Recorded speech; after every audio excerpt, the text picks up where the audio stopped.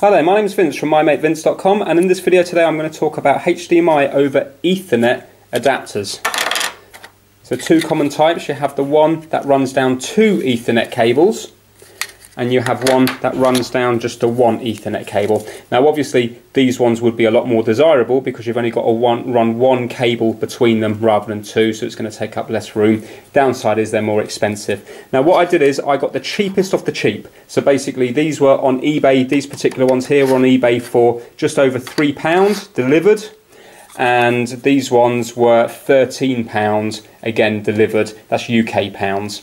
Now they're supposed to work up to 30 meters with ten 1080p.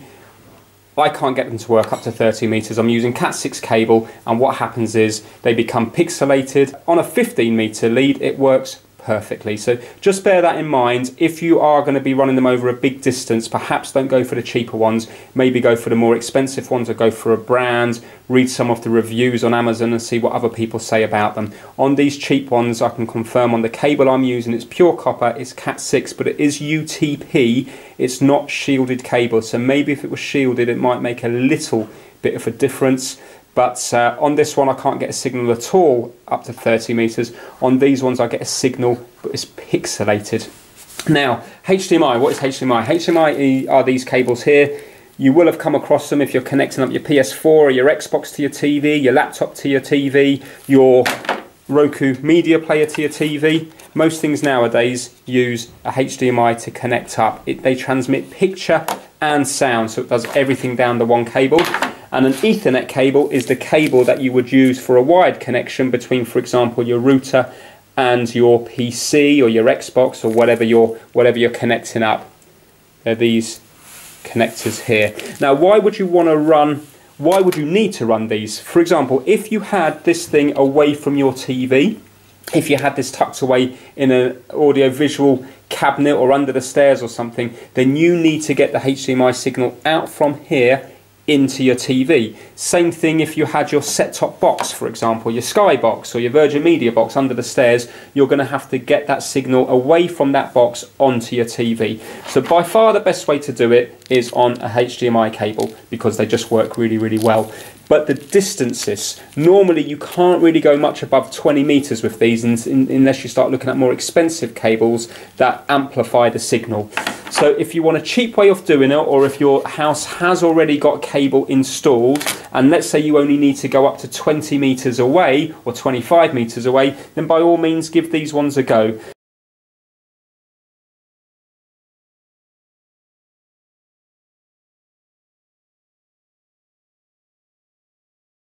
Other limitations of them are, the size. Now this one's here, this one here is okay, but if you look at the width of these ones, imagine now on your TV, if you've already got HDMI lead plugged in, a lot of the time the ports are close to each other. Well, if your ports are close to each other, you're not going to be able to plug that one in because it's going to foul. So for example, on my desktop over here, the HDMI port is the VGA ports and under the USB ports. So there's no way I'm going to be able to plug that in there because it doesn't fit. So then I'm going to have to look into getting a little HDMI extender like that so you can plug it in and then you can plug that into there like so so it doesn't foul anything. So just bear that in mind before you go out and buy them. Have a look at your equipment first of all and see how close the ports are to them. Now if you have a look at these ones here that travel over the one cable, you will see that they're labelled up as TX and RX. RX means receive and TX means transmit. So basically you would be plugging in the transmit into your media player or your set-top box or your Xbox or your computer. You would be plugging in the receive, the RX, into your TV that's going to receive the signal. So this is the one that's going to push out the signal and this is the one that's going to receive. It will not work if you get them the wrong way round. And on these ones here, they're labelled up 1 and 2 on the bottom. So you again, you can't get them crossed. The cable that you put into number one this side has to go into number one that side and two into two. If you go one to two and two to one, again, it's not going to work. So when you plug them in, if they're not working, swap over the leads. Again, if these are not working, make sure that you, you know, swap them over. Make sure that you've got the right ones in the right side. Now, if you're thinking, will these work over power line adapters? The answer is no. So power line adapters are these little adapters here that push the Ethernet signal all through the electric cabling in your house. So if you were thinking, for example, of getting these and then getting a short lead from there into here and then doing the same on the other side, it's not going to work. These HDMI over Ethernet adapters do not work over power line adapters. If you want something that does work over a real Ethernet signal or through power line adapters, look into something called HDMI over LAN, L-A-N, local, local area network. HDMI over LAN. Google that. The problem is they're really expensive. The cheapest ones I could find were £120, but the idea of them are great because the HDMI signal will then travel through all your routers, your switches, everything. And anywhere that you've got a network point working, you will then be able to have a HDMI cable working, and the distances are huge as well. So that's something to look into. So I'm just going to show you these working now using 15 meter leads. So to begin with, we're just going to connect up a little Roku media player using the cheap three pound HDMI over Ethernet adapters. So I've got two Cat6 cables, nice pure copper cables. So I'm going to plug this end into number one, like so, and then on the other side I have to plug the same cable into number one as well. So this is the other end of the cable that I'm going to plug into number one. And now I have to do the same with the other cable into two, two, and two, like that. So let's plug one end into the HDMI here, and then we're going to plug the other end into the little TV that I've just temporarily set up over here. And again, see here, they're close to each other. So if one port was in use, you're not going to be able to use these because if you have a look there now, there's not enough room to get that second cable in. It'd be really tight. Right, so that's plugged in there.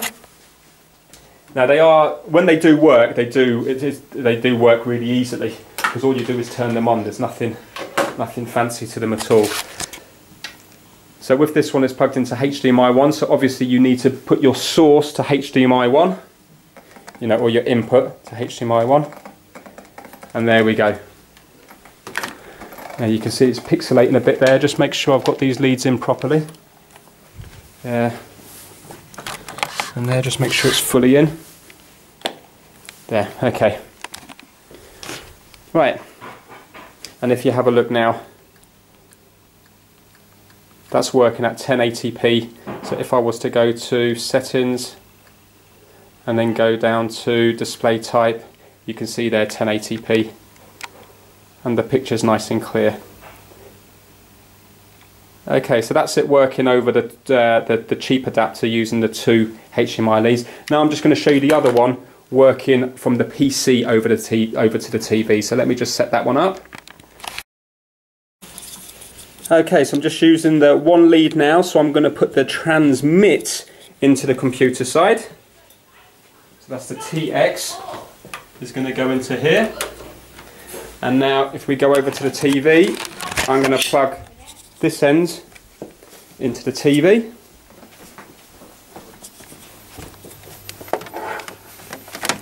See there, it's a bit dark, but we've got HDMI 1 up there at the top. So let's just plug it in. I've unplugged all the other leads just for the sake of this video. Right, and there we go. We now have the computer picture transmitted over there. So whatever you see here, you will now see up there. So you can set your YouTube movie or whatever play in there and it will play up here.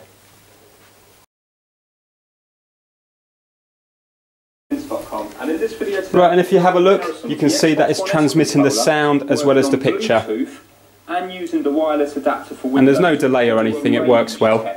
So first of all, Let me just lower that down. on Bluetooth, see how far away we get before it loses. Okay, so as you can see, the picture's absolutely perfect. So these are good because A, they're cheap, and secondly, if you were to get better ones, they would be able to work at a good distance. If you can do so, run HDMI cables because they are better. But a lot of people would argue that running, you know, for example, Cat6 cables all around the house and then putting these dongles at the end would be better because then as technology improves in the future, you can then just change the end, so you can just change the adapters rather than changing the whole cable. So for example, if you were to run HDMI cables in your house, in 10 or 15 years time as technology moves on, they might be redundant and then you've got to replace the cable. While if you were just to run decent Cat6 throughout the house, then as technology moves on, all you've got to do is replace the ends of the cable, so the adapters at the other end. So there is an argument to do that. Uh, you know, that, that, that decision really is up to you. But uh, these adapters, I, how I've been, to, if I'm honest, I've been a little bit disappointed. I would have thought that they would have worked up to 30 metre using Cat6 pure copper cable. In my instances, they didn't. But over 15 metres it works well. And 15 metres again is quite a distance. You know, you might be lucky. It, for you, it might work up to 25, 30 metres. So uh, hopefully you did find the video a little bit useful and uh, it shed a little bit of insight into these little adapters. But what I would say is probably don't go for the cheapest ones you can find. Have a look on Amazon and have a look at the, the reviews and stuff, see what other people are saying about them, because I wouldn't personally recommend these very cheap ones. Okay, give the video a thumbs up if you liked it, and please subscribe for more how-to videos. Take care now.